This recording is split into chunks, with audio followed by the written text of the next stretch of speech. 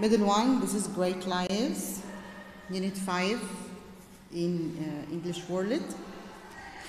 They are talking about Victoria, Queen of the United Kingdom.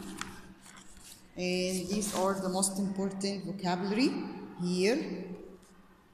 Page 50. Tutor, tutor,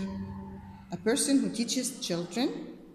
Governess, a woman who looks after and teaches children in their own homes اللي هي المربية Prime Minister the leader of the British government or any government رئيس الوزراء Husband the man who is married to a woman Ruler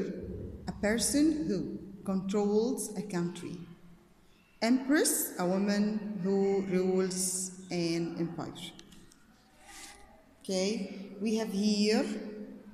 making new words using the suffix ment meant